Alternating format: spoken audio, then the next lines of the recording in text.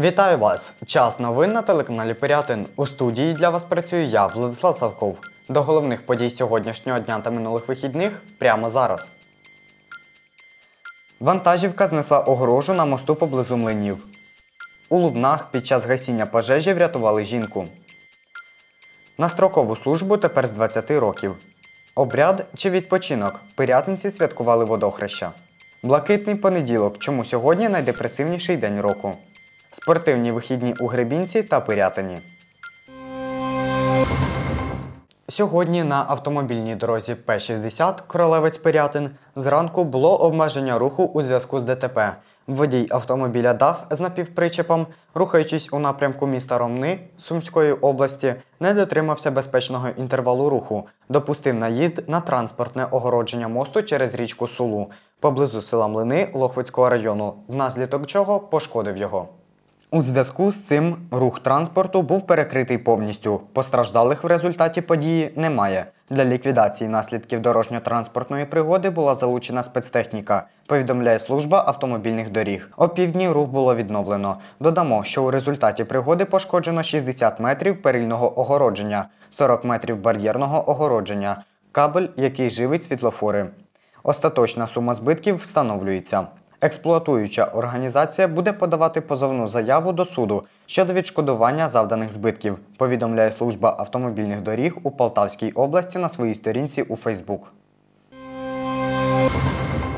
У Лубнах на водохреща сталася пожежа. Ймовірна причина, яку називають рятувальники необережне поводження з вогнем. Мешканку оселі врятовано. За фактом порушення встановлених законодавством вимог пожежної безпеки відкрито кримінальне провадження за частиною 1 статті 270 Кримінального кодексу України. 19 січня о 22.30 на диспетчерський пункт 18-ї пожежно-рятувальної частини надійшов виклик про пожежу на вулиці Олійниці. На боротьбу з вогнем виїхало два пожежні автомобілі та вісім чоловік особового складу. Під час проведення розвідки в палаючому будинку було виявлено і врятовано мешканку оселі 50-го року народження. На місце події було викликано швидку, яка доставила постраждалу із численними опіками до реанімаційного відділення Лубенської лікарні інтенсивного лікування. Стан на момент поступлення важкий, але стабільний. Хвора при свідомості, трохи заторможена, ну, контакту доступно. Обставини происшествия цього більш-менш змогла розповісти. Діагноз термічні опіки усього тіла. Оглянута хірургом, надана необхідна допомога. На даний момент хвора знаходиться в реанімаційному відділенні. Остаточно ліквідувати займання вдалося о 1.55. За словами голови вуличного комітету, будинок, у якому сталася пожежа, вже кілька років від'єднаний від електропостачання, і сам стан приміщення потребував ремонту. Наразі обставини події з'ясовують пожежні інспектори. Попередня причина необережне поводження з вогнем.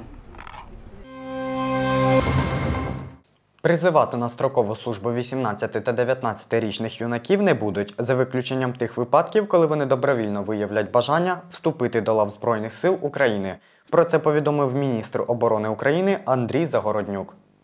Керівник оборонного відомства зауважив, що вік призову з 18 років чітко прописаний у законі і ніколи не змінювався. Відповідно до указу президента про звільнення в запас військовослужбовців строкової служби, строки проведення чергових призовів та чергові призови громадян України на строкову службу у 2020 році виданий відповідно до вимог чинного законодавства України. Водночас ми отримуємо чимало звернень і побажань щодо можливості проходити строкову службу саме з 18 років. Аргументація раціональне планування молодою людиною своїх подальших кроків щодо навчання, працевлаштування та особистого життя, наголосив міністр. Андрій Загороднюк підкреслив, що під час призову у 2020 році повістки отримають, як і раніше, молоді люди від 20 років. А ті українці, кому виповнилося 18 та 19 років, за їхнім власним бажанням. Отже, ніхто із хлопців до 20 років до проходження строкової служби примусово залучатися не буде, конкретизував керівник оборонного відомства. Міністр оборони також звернув увагу, що наразі триває активна робота над розробкою концепції анонсованої реформи призову. Керівник оборонного відомства нагадав, що військовослужбовці строкової військової служби не залучаються для виконання завдань у районі проведення операції об'єднаних сил.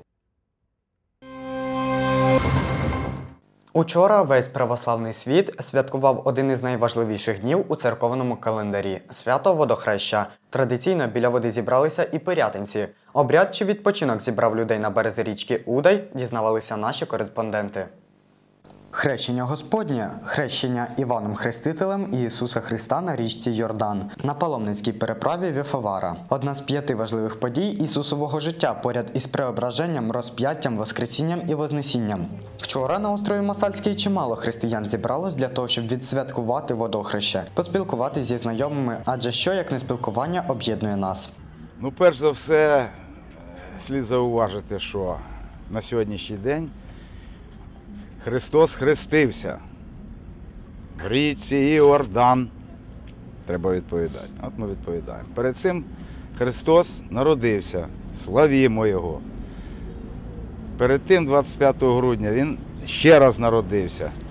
Теж славімо Його. І от е, цей період з 25 грудня і по вчорашній день, по 19 число, коли він прийняв хрещення для православних християн і взагалі для православних, хто сповідує цю релігійну мораль,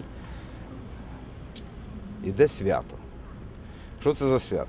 Це кінець року. Люди починають жити у мирі з самим собою, тобто аналізують те, що було зроблено, е, оті всі напруження, ті проблеми, як вони вирішили протягом року, і е, так сказати, будують собі плани на майбутнє. І от е, Господь дав людям оцей період з 25 грудня по вчорашній день для того, щоб людина пожила в мирі з собою, привела е, у відповідність свої думки, свої наміри, свій духовний стан виправила, відпочила. І вже з новими силами увійшла у новий календарний рік. І виконувала вже ті плани, які вона побудувала за цей період, побудувала собі. Ще не почалося свято, а завзяті продавчині почали пропонувати свій товар. Продавали запашний шашлик, інші страви та різноманітні напої. Багато хто зустрівся зі своїми знайомими та розмовляли на різноманітні теми за чашечкою чаю або за столом зі смачною кашею, безкоштовною, до речі. Освячення води здійснив отець Іван, настоятель Свято-Успенської церкви.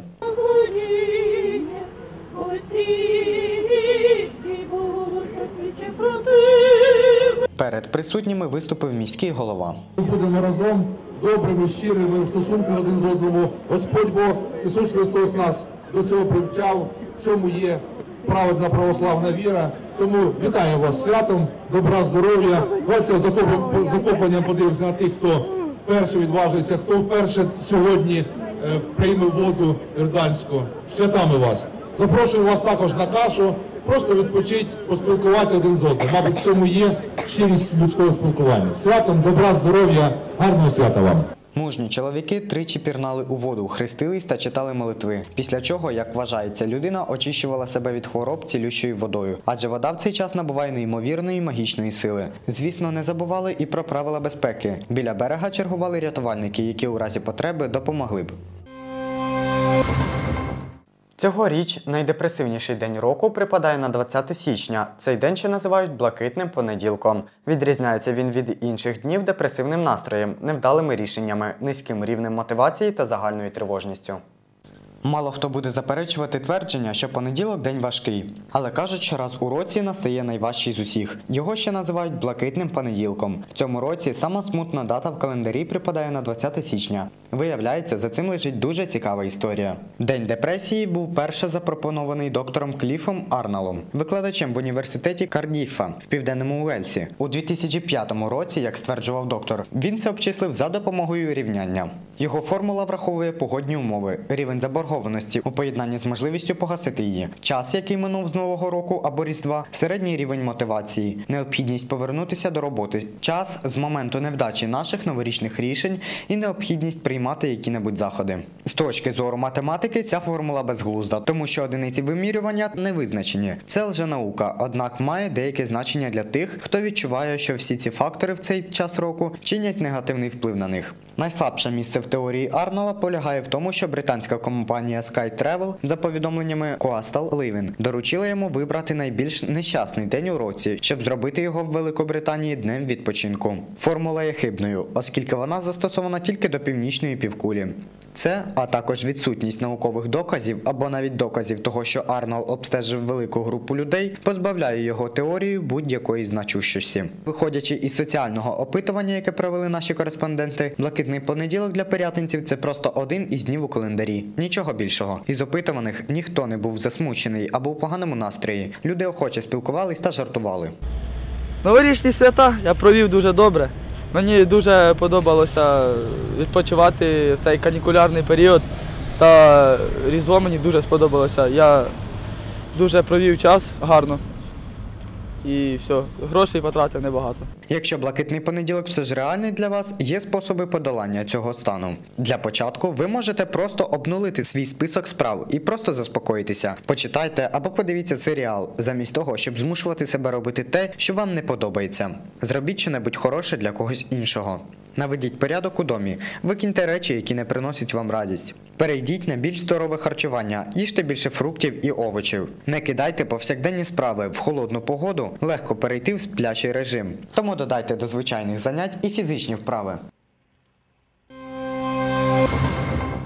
Перший зимовий старт на чемпіонаті Полтавської області серед юніорів та дорослих з легкої атлетики, який проходив 17-18 січня 2020 року у спортивному комплексі Гребінки, став успішним для вихованців Гребінківської ДЮСШ. США. Спортсмени мають такі здобутки. Софія Пісня. Перше місце з бігу на 60 метрів з бар'єрами і друге місце з бігу на 200 метрів. Вікторія Козін зайняла друге місце у стрибках у довжину. Таїсія Пунько друге місце у штовханні ядра серед юніорів. Марія Зінченко зайняла третє місце у бігу на 200 метрів. 18 січня на спортивному майданчику школи номер 4 у Пирятині відбувся третій тур другого кола відкритого чемпіонату Пирятинського району з мініфутболу. Наводимо результати туру. ФК Енергетик ФК Юність 1-5, ФК Велика Круча, ФК Лубний Лейкерс 6-3, ФК Ветеран ФК Фортуна 9-13, ФК ДЮ США, ФК Удай Курінька 2-13. Кращий бомбардир Сергієнко Артем, ФК Велика Круча, на рахунку якого 52 забитих м'ячі. Наступний третій тур відбудеться 25 січня. А на цьому у мене все. Дякую, що залишаєтеся з нами. На все добре.